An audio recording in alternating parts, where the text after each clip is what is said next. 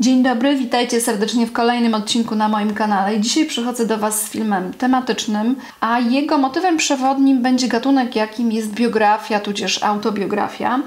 E, dlatego, że dosyć sporo czytam książek biograficznych i często po nie sięgam i cenię ten gatunek, a w ogóle do nagrania tego filmu zainspirowała mnie mm, pokaźna biografia, jaką y, przeczytałam w ostatnim czasie, dosłownie kilka dni temu ją skończyłam. To jest biografia E, autorstwa Artura Domosławskiego. I Artur Domosławski, e, który napisał bardzo głośną książkę poświęconą Ryszardowi Kapuścińskiemu, non-fiction, e, w tym roku wydał książkę pod tytułem mm, Wygnaniec 21 lekcji z życia Zygmunta Baumana. Zygmunt Bauman jest postacią fascynującą, jeśli chodzi o historię polskiej mm, nauki, humanistyki. Jest to E, no, jeden z najbardziej znanych naukowców, myślicieli, humanistów, socjologów polskich na świecie.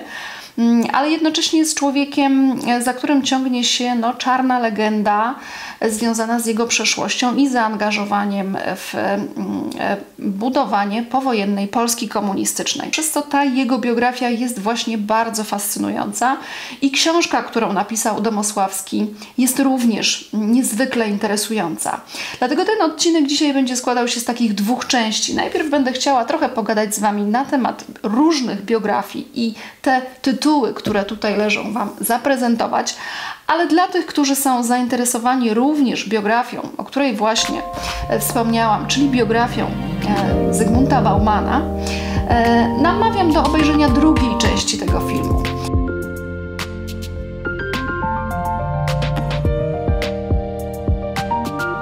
Moi drodzy, ja biografię czytam wiele, wiele lat i traktuję je mm, w sumie równorzędnie jak inne gatunki, które cenię jak fikcję literacką, jak literaturę faktu i szukam w biografii zazwyczaj jakiejś prawdy o jej bohaterze ale takiej związanej z prawdą o nim jako o człowieku, a niekoniecznie jako przedstawicielu danej profesji, czy też jakiejś no, działalności, dzięki której jest znany. Mm, I w sumie biografie nie są dla mnie mm, takim gatunkiem stricte relaksującym, czy, czy jakąś taką literaturą, wiecie, rozrywkową. Zazwyczaj lubię, kiedy biografia, czy biograf, powiedzmy, autor biografii jest zaangażowany, ale jednocześnie bardzo dociekliwy. Oczywiście bardzo cenię też umiejętności no, pisarskie, typowe, warsztatowe. E, bardzo lubię taką wnikliwość, kiedy biograf nie boi się, prawda, mówić o rzeczach wstydliwych. Mm, muszę powiedzieć, że y, lubię też autobiografie, ale mm, one zdarzają się rzadko, to znaczy dobre autobiografie, e, dlatego że autobiografia no jednak jest jakąś kreacją i nie do końca autobiografie są tak wiarygodne jak biografie. No, w pewnym sensie trzeba mieć do nich trochę większy dystans, ale również bywają fascynujące i również bywają ciekawe. I powiem Wam, że też lubię takie biografie, mm, które są na styku gatunków. Niewiele takich biografii czytałam, ale kilka takich tytułów dzisiaj będę Wam chciała zaprezentować i chciałabym Was zachęcić do tego, żebyśmy sobie po prostu o tym gatunku trochę porozmawiali. Biografie zawsze nam pokazują e, naprawdę te wydarzenia zakulisowe i jakieś rysy mm, na życiorysie danej osoby. Zachęcam Was do rozmowy. A teraz chciałabym już przejść do tych stosików, które tutaj zgromadziłam. Strasznie będzie dużo tutaj biografii pisarzy, autorów, ale nie tylko, oczywiście po takie sięgam. E, I powiem Wam, że nie mogę zacząć od e, innego nazwiska, jeśli chodzi o mm, polskich biografistów czy biografistki, niż od Agaty Tuszyńskiej. Uwielbiam tę pisarkę, uważam, że ma ona niesamowity talent. E, napisała wiele świetnych biografii, E, dwie bardzo interesujące powieści autobiograficzne. Jest w ogóle bardzo utalentowaną pisarką, poetką. Mm, charakteryzuje się takim, mm, taką niesamowitą dla mnie wrażliwością i erudycją. Ja tutaj mam w ręku e, przepiękną jej książkę, pierwszą jaką czytałam, biografię poświęconą Isaakowi Baszewisowi Zingerowi, jednemu z braci Zingerów, bo było ich dwóch. E, jeszcze był Joshua Zinger, obu bardzo cenię. I to są pejzaże pamięci. Bardzo Wam te biografie polecam. E, jeśli ktoś na przykład no, nie zna literatury żydowskiej, to jest to świetny wstęp do e, tej literatury. Książka została napisana w 2002 roku. Pamiętam, że czytałam ją, wypożyczałam ją z biblioteki i e, była już dwukrotnie wznawiana i dwa lata temu e, wydawnictwo literackie e, postanowiło wykonać kolejny dodruk tej książki. Cudna książka i drugą książkę, jaką tutaj mam, e, którą bardzo cenię, to jest książka o Irenie Krzywickiej, którą też e, Agata Tuszyńska napisała Długie życie gorszycielki. Jeśli ktoś nie zna tego nazwiska, to warto się z tym zapoznać, bo to jest e, prekursorka ruchu feministycznego w Polsce. Postać bardzo znana w dwudziestoleciu. Taka postać trochę skandalizująca, otoczona trochę aurą skandalu z uwagi na swoje takie no nietuzinkowe spojrzenie na wiele tematów. Mm, przyjaciółka z kamandrytów, przyjaciółka Tadeusza Boja Żeleńskiego, zresztą miała romans też z nim e, z którym się nie kryli. E, osoba, która zrobiła bardzo wiele na rzecz kobiet, przede wszystkim na rzecz edukacji kobiet w dwudziestoleciu międzywojennym, na rzecz takiego poczucia własnej wartości, ale przede wszystkim samoświadomości, świadomego macierzyństwa. Postać absolutnie fascynująca i ta biografia też jest bardzo ciekawa, bo ją e, pokazuje mm, no, w taki niejednowymiarowy sposób. I co do Agaty Tuszyńskiej, moi drodzy, ja już mówiłam na swoim kanale kiedyś o też fascynującej mm, biografii Wiery Gran. Mm, to też jest taki temat w biografii, który ja bardzo lubię, czyli postacie wykluczone, e, postacie w jakiś sposób odtrącone przez społeczeństwo z, takim, z taką rysą właśnie na swoim życiorysie. Przepiękna biografia, bardzo wzruszająca. Narzeczona Szulca, Józefina Szelińska. No Agata Tuszyńska napisała y, naprawdę bardzo wiele tych biografii. Zachęcam do zapoznania się również z jej, z jej piórem. Tutaj a propos Ireny Krzywickiej mam też bardzo ciekawą książkę na temat właśnie Boja Żeleńskiego, z którym przyjaźniła się e, e, romans e, Irena Krzywicka.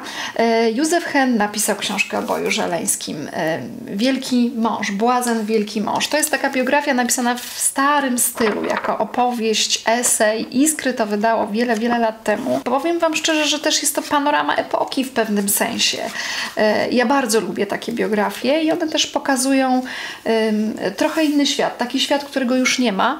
Bardzo lubię biografie, które są pisane przez członków rodzin. One oczywiście mogą pozostawiać trochę do życzenia, jeśli chodzi o zachowanie takiego, wiecie, maksymalnego obiektywizmu, ale mm, no, z drugiej strony zawierają w sobie coś takiego czego żaden inny biograf, będący osobą z zewnątrz, nie jest w stanie oddać. Nie jest w stanie oddać atmosfery, nie jest w stanie oddać pewnego rodzaju wspomnień, impresji, które są charakterystyczne dla tych osób, które powiedzmy dorastały w tym środowisku. Jeśli nie pamiętają y, tej osoby, no to przynajmniej żyły w kręgu jej wspomnień, takich wspomnień żywych bardzo. I jedną z piękniejszych takich historii rodzinnych, bardzo pięknie napisanych, też o pisarzu, jest książka Marii Konwickiej poświęcona ojcu. E, a w zasadzie jest to historia życia rodziny Konwickich i nie tylko Konwickich, bo też jest bardzo dużo tutaj o e, rodzie Leniców, czyli e, rodzinie, z której wywodziła się żona Tadeusza Konwickiego, Danuta Konwicka, słynna graficzka, ilustratorka. No i właśnie jej mm, brat i jej ojciec byli też znanymi artystami plastykami. I książka napisana przepięknie. Książka napisana też w bardzo wzruszający sposób, ale też taki mm, z pazurem trochę, czyli ona nie jest przesadnie sentymentalna. Ja Wam bardzo serdecznie polecam, jeśli ktoś e, lubi e, też e, prozę Tadeusza Konwickiego, ale to też tutaj jest dosyć sporo takich historii, epizodów, na przykład z pobytu autorki w Nowym Jorku, więc jest sporo tych akcentów amerykańskich. Zresztą Tadeusz Konwicki też bywał w Ameryce, więc to nie jest taki czysty portret y, Tadeusza Konwickiego jako pisarza. Zresztą taki jest tytuł tej, tej historii wspomnieniowej, o, bo tak bym to nazwała, byli sobie raz. Bardzo zresztą też tutaj Wam y, przybliżę jest piękne zdjęcie e, na okładce tej książki, gdzie występuje ten słynny kot Iwan, bohater kilku książek Tadeusza Konwickiego, takie wielkie, wielkie kocisko. E, I zaraz obok, tutaj może tak sobie postawię tą książkę Marii Konwickiej, jest druga książka napisana przez członkinię rodziny, a mianowicie przez prawnuczkę Jarosława Iwaszkiewicza, przez Ludwika Włodek. E, to jest wznowienie, to jest książka Pra Iwaszkiewiczowie, opowieść o rodzinie. Piękna książka opowiadająca historię rodziny Lil-Popów i Iwaszkiewiczów. E, Ludwika Włodek jest reporterką, natomiast no, to jest wyjątkowa pozycja w jej e, dorobku, no, bo jest oczywiście historią rodzinną, ale historią też bardzo sentymentalną. Została napisana wiele lat temu i niedawno została właśnie wznowiona przez marginesy w takim pięknym wydaniu. Tu jest zresztą bardzo mm, interesujące zdjęcie w takim, jakby w takiej sepi trochę. E, Jarosław Iwaszkiewicz ze swoją żoną Anną i zdjęcie jest z lat 30. Mm, na przylądku Skagen, czyli tak jakby na e, styku dwóch mórz, północnego i bałtyckiego. A teraz mam taką biografię, która jest też bardzo interesującą biografią.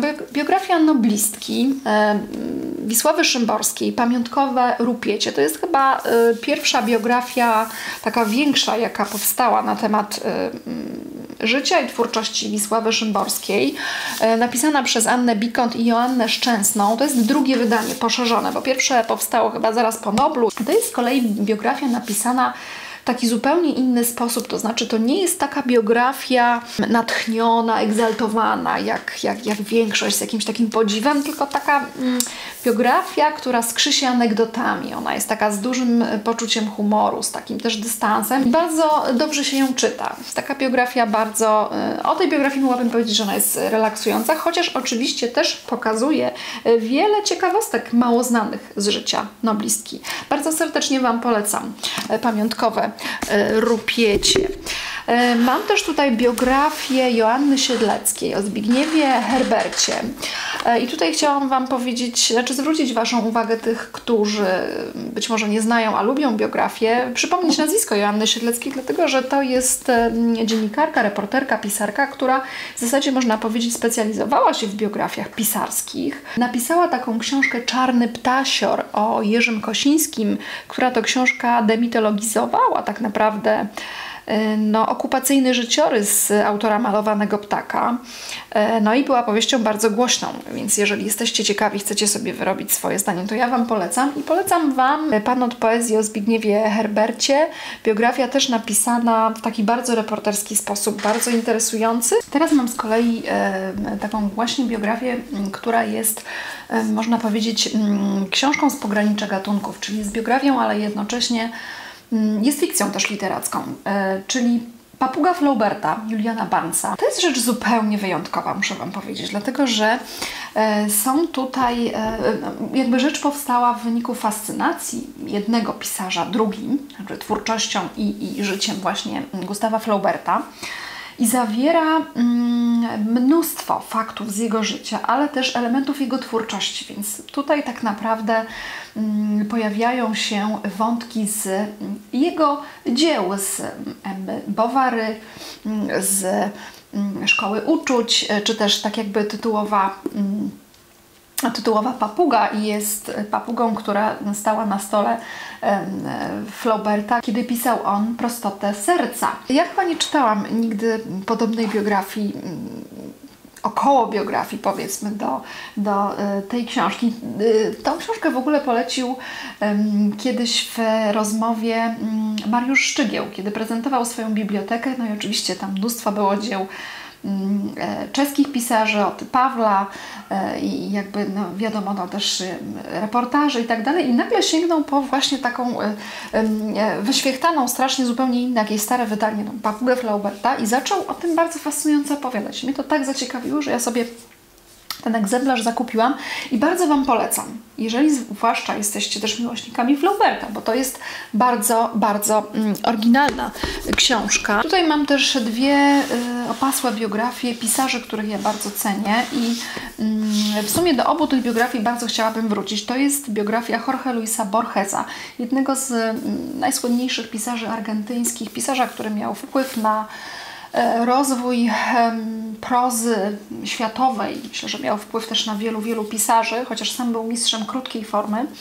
Ale to jest biografia bardzo szczegółowa i też biografia od zakłamywująca wiele stereotypów Borgesa, którymi, któremu zresztą przypisuje się prawicowe poglądy, które on oczywiście no, posiadał, ale zostały one bardzo, bardzo wyolbrzymione. Jeżeli interesujecie się prozą w ogóle, ja Wam bardzo polecam oczywiście opowiadania Borgesa. Mm, to jest taki pisarz bardzo mm, intelektualny, bym powiedziała w największym skrócie, ale polecam Wam jego opowiadanie, ale gdybyście się też interesowali e, sylwetką, to, to jest e, całkiem dobra biografia. I biografia, która, y, którą ja cały czas jeszcze studiuję i do której wracam i do której bardzo lubię zaglądać, no to jest oczywiście chyba najsłynniejsza biografia y, biografia mistrza, nawet taki ma podtytuł, czyli Michał Buchakow. Zdaje się, że w odcinku poświęconym literaturze rosyjskiej pokazywałam Wam tę książkę. Ona jest bardzo monumentalna. Y, autorem jest Aleksiej Warłamow, a została przetłumaczona już Wam mówię, przez e, Margaritę Bartosik z języka rosyjskiego. Dostałam ją w prezencie kilka lat temu i powiem Wam szczerze, że co jakiś czas właśnie do niej wracam. Wracam do fragmentów. Nigdy nie przeczytałam jej w całości. E, bardzo chciałam nadrobić mm, dramaty Buchakowa, e, bo tutaj jest bardzo obszerna część tej biografii poświęcona problemom, jakie miał Buchakow właśnie w Rosji Sowieckiej z wystawianiem swoich sztuk. Jestem bardzo ciekawa, czy ktoś z Was być może przeczytał w całości tę biografię, więc jeżeli jest ktoś taki wśród widzów mojego kanału, to e, zachęcam do podzielenia się. A teraz chciałabym e, tutaj, moi drodzy, pokazać Wam jeszcze kilka autobiografii, które są ciekawe moim zdaniem i które mogłabym Wam serdecznie polecić. E, po raz kolejny biografia, o której już też kiedyś na kanale mówiłam, Andy Rottenberg. Proszę bardzo, mm, historia jej rodziny, zarówno ze strony ojca i ze strony matki, też obejmująca no niemalże całe XX mm, stulecie. E, wielokulturowa, wieloetniczna panorama. Zresztą historia życia tak naprawdę też Andy Rottenberg, mm, no już późniejszego e, i jej dosyć dramatyczna historia macierzyństwa i zmagania się z różnego rodzaju też problemami e, typowymi, życiowymi, ale pięknie napisana, w bardzo przejmujący sposób. Ona została zresztą, e, to jest bardzo stare wydanie, ale została wznowiona tym roku, więc e, gdyby ktoś się interesował, to, to Wam polecam. Podobnie Agata Tuszyńska, mówiłam, że wrócę jeszcze do niej e, w kontekście autobiografii. Agata Tuszyńska napisała dwie niezwykłe książki na temat swojego życia. To jest Rodzinna historia lęku, której, która jest dowodem jej niesamowitego talentu i bardzo bym Wam ją polecała jako książkę o odkrywaniu własnych korzeni w dorosłym życiu. A to jest książka przejmująca mm, ćwiczenia z utraty o y, chorobie bliskiej osoby. Czyli książka, w której Agata Tuszyńska opisuje rok ze swojego życia, mm, w trakcie którego mm, chorował jej wieloletni życiowy partner Henryk Dasko, który odchodził, chorował na chorobę nowotworową. Y, I to jest zapis y, niezwykły, bo nie nie będący wyłącznie terapią dla samej autorki, ale będący jednocześnie znakomitym dziełem literackim, bo to jest przepięknie napisane. I teraz mam dwie autobiografie, które kupiłam sobie niedawno, więc mamy taki mini book haul, ale też zupełnie wyjątkowe. To jest Oriana Fallaci i Kapelusz cały w czereśniach. E, ja bardzo lubię Orianę Fallaci, już Wam o tym mówiłam. E, zresztą zobaczcie, jaka autobiografia e, bez żadnego zdjęcia historia wyłącznie skupiająca się na, na życiu, po prostu. Jest taka saga rodzinna. E, ja bardzo chcę tę książkę przeczytać i myślę, że w kolejnym roku będę chciała z nią e, przyjść z recenzją tej książki do Was. E, wydaje mi się, że być może nawet o niej wspominałam, ale zaciekawiła mnie ta książka, kiedy znalazłam ją w księgarni, przeczytałam sobie jej fragment i stwierdziłam, że koniecznie chcę ją mieć. Biografii Oriany Falaci jest kilka na rynku, natomiast y, no, to jest autobiografia, tak? Więc y, zobaczymy, jak, jak będzie się to czytało. A tu jest rzecz, y, jestem ciekawa, czy ktoś z Was słyszał, czyli autobiografia Alice B. Toklas Gertrudy Stein. To jest najbardziej znana książka Gertrudy Stein, opowiadająca o jej życiu, w którym Gertruda Stein narratorką uczyniła swoją wieloletnią partnerkę życiową, czyli Alice B. Toklas. E, one żyły w związku, e, bo Gertruda Stein, jak pewnie wiecie, była osobą nieheteronormatywną i wiele, wiele lat żyły w związku, prowadziły taki otwarty dom, przyjaźniły się z, tam bywał u nich Picasso, Hemingway i Alice B. Toklas żyła w cieniu. E, Gertrude Stein. Natomiast no, to jest uznawane za największe dzieło Gertrude Stein. Ja jestem szalenie ciekawa tej książki i to też podobnie jak książka Oriany Falaci, tak sądzę, że będzie, e, będzie jakaś e, recenzja na moim kanale w przyszłym roku. Ale już polecam Waszej uwadze. Teraz mam znakomitą biografię i tutaj chciałabym, żebyście, jeśli dotrwaliście do tego miejsca w tym odcinku, zapamiętali to nazwisko. To jest Katarzyna Surmiak-Domańska.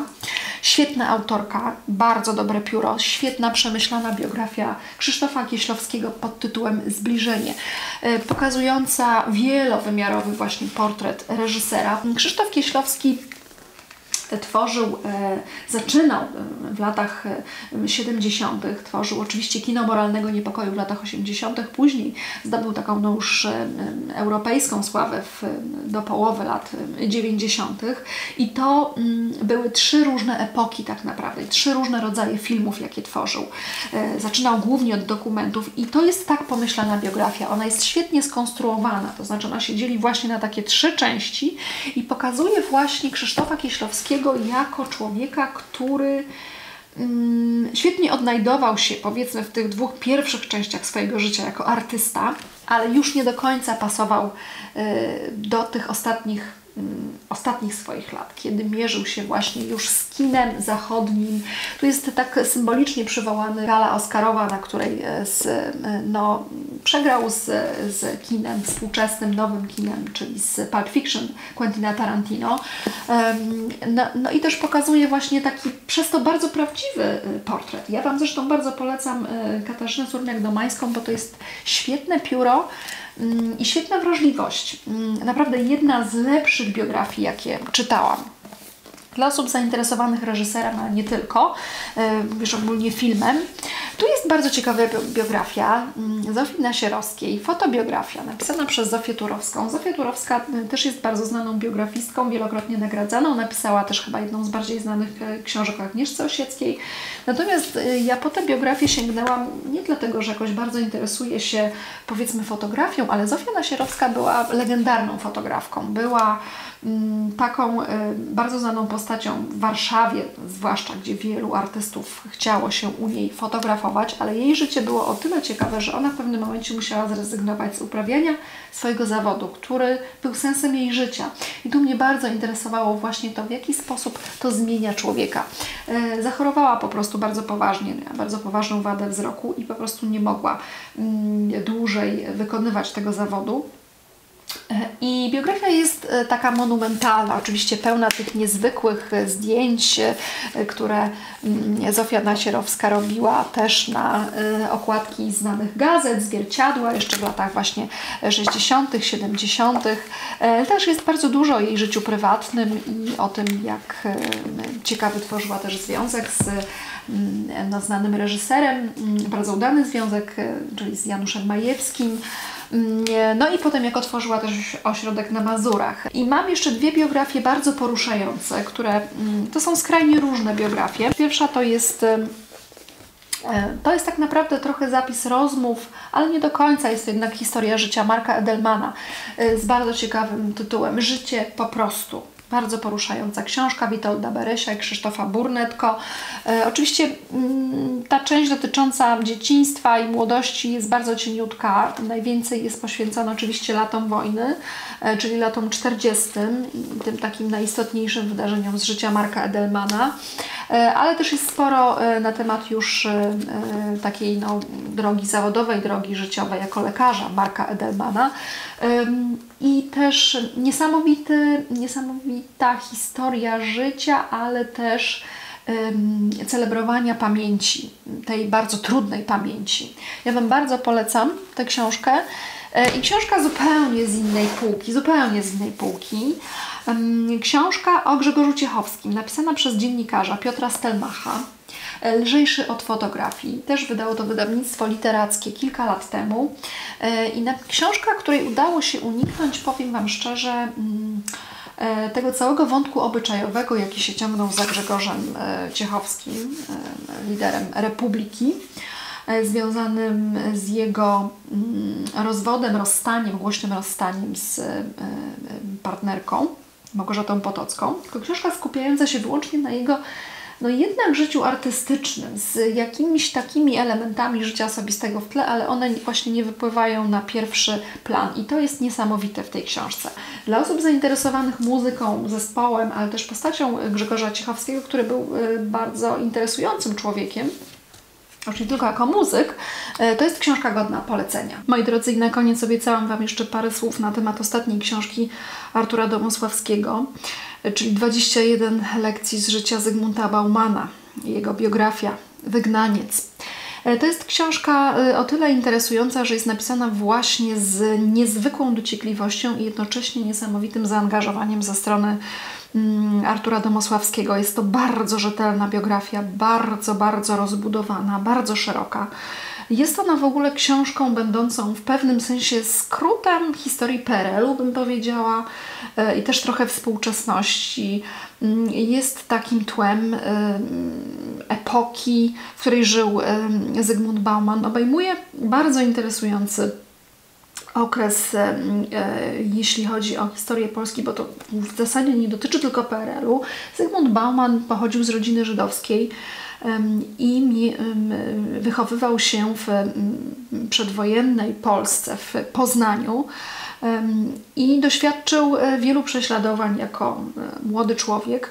No i potem w czasie wojny oczywiście uciekał przed nazizmem hitlerowskim i los no, zaprowadził go na tereny Związku Radzieckiego, w, na tereny w dzisiejszej Białorusi. Tam spędził większość jakby okresu wojennego. E, no i zaraził się, można tak powiedzieć, ideologią komunistyczną. Był e, bardzo gorliwym wyznawcą marksizmu, stalinizmu. Uczestniczył później jako prominentny mm, e, no, członek establishmentu komunistycznego w tworzeniu struktur Polski Ludowej.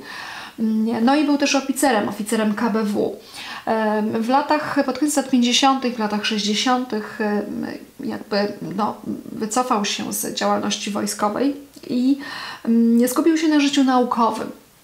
I ten fascynujący, najbardziej fascynujący okres jego życia dotyczy oczywiście badań, które on prowadził jako socjolog, ale też potem rozgłosu, który zyskał. Mm, e, a tak naprawdę e, no, no on doświadczył mm, potem drugiego e, wygnania związanego z taką nagonką antysemicką w latach 60. W 68 roku wyemigrował do Izraela, gdzie spędził kilka lat i tam też nie do końca mógł się odnaleźć w środowiskach naukowych. Mm, postanowił wyjechać, ostatecznie osiedlić się w Wielkiej Brytanii. Tam Mm, rzeczywiście mm, y, zaczął mm, prowadzić już życie wyłącznie naukowca, socjologa, intelektualisty, który no, posiadał chyba największy swój nieformalny fanklub na całym świecie. I jest postacią o tyle taką niejednoznaczną, że jest jego życie jest w pewnym sensie w Polsce przemilczane i to jest bardzo ciekawie Domosławski opisuje tę historię jako Bauman, który jest taką solą w oku historii Polski i Polaków, jest odrzucony, no oczywiście skreślony całkowicie, jeśli chodzi o środowiska takie wojujące, antykomunistyczne, środowiska związane z IPN-em, które są ogarnięte już w ogóle taką totalną obsesją, wręcz inkwizytorską, antykomunistyczną, ale jest też postacią bardzo niewygodną ogólnie dla y, no też dawnej opozycji antykomunistycznej i współczesnych powiedzmy no liberałów, czy, czy, czy nawet lewicę. Jest też postacią, której zarzuca się, że mm, nie miał swojej metodologii naukowej. To jest bardzo ciekawy wątek w tej biografii, że on nie był do końca naukowcem takim z prawdziwego zdarzenia, takim akademikiem, tylko był bardziej eseistą. Jego twórczość była taka bardziej literacka, że on chciał jakby no, zabiegać o odbiorcę, a nie prowadził e, takich badań empirycznych. E, tych wątków w, w książce e, Artura Domosławskiego na ten temat jest bardzo, bardzo wiele i one są niezwykle ro, rozbudowane. Właściwie minusem tej książki można byłoby powiedzieć, że są te zbyt rozbudowane wycieczki dygresyjne, bo my oprócz tych skomplikowanych, pełnych zawiłości losów e, Zygmunta Baumana, e, no mamy właśnie skrócony kurs historii Polski Ludowej, mamy mnóstwo wykładów poświęconych nie, na przykład e, materializmowi dialektycznemu albo różnym zawiłościom związanym z e, sytuacją na Wydziale Socjologii w latach 60. i tak dalej, i tak dalej. Że tutaj bardzo Domosławski starał się przedstawić jak najbardziej szczegółowe tło, żeby zrozumieć bardziej motywacje i wybory Zygmunta Baumana. Natomiast mnie też bardzo ciekawiły już wątki współczesne. To, że profesor Bauman był człowiekiem, który niezwykle interesował się nowoczesnością i jakby współczesnością, że interesował się takimi zagadnieniami jak no, kryzys klimatyczny. Myślę, że w sposób uniwersalny interesował się zawsze losem człowieka człowieka pokrzywdzonego i to gdzieś tam myślę, że Domosławski pokazuje tą jego konsekwencję w tym jego niewyparciu się komunizmu, że on autentycznie wierzył w jakby takie ideowe założenia socjalizmu w latach 40. i 50. i to mu gdzieś tam zostało, taka wrażliwość na pewne no, niesprawiedliwości na świecie. Interesował się bardzo losem pokrzywdzonych, tematy związane z uchodźcami go bardzo interesowały i jako taki bardzo ciekawy wątek też w tej biografii dotyczył zainteresowania postacią i dorobkiem Baumana przez takie nowoczesne czy nowatorskie środowiska współczesnego kościoła.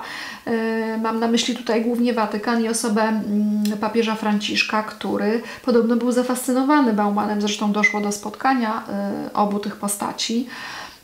I książka mm, Domosławskiego jest pewnego rodzaju hołdem złożonym Baumanowi w moim odczuciu. I o tyle, o ile na przykład Domosławski pisząc e, non-fiction Kapuścińskiego dokonał czegoś w rodzaju, tak się mówiło o tym środowisku, takiego no, ojcobójstwa w pewnym sensie, bo obalił ten pomnik e, Kapuścińskiego. O tyle w przypadku Baumana, pokazując te wielkie, jakby skomplikowane jego losy i bardzo takie złożone sytuacje życiowe, osobiste, zawodowe, dokonuje w pewnym sensie trochę jego usprawiedliwienia w moim odczuciu. To znaczy to, co mi w tej biografii z jednej strony mi bardzo imponowało, takie bardzo rzetelne podejście i drobiazgowe, to z drugiej strony ja miałam wrażenie, że mam bardzo małe pole manewru do wyrobienia sobie własnej oceny, e, czy oceny moralnej, czy oceny jako czytelnik e, biografii profesora Baumana, że tak jakby Domosławski bardzo, bardzo chciał mi pokazać, jak bardzo trudne było to życie i jak bardzo nie powinniśmy dzisiaj oceniać go w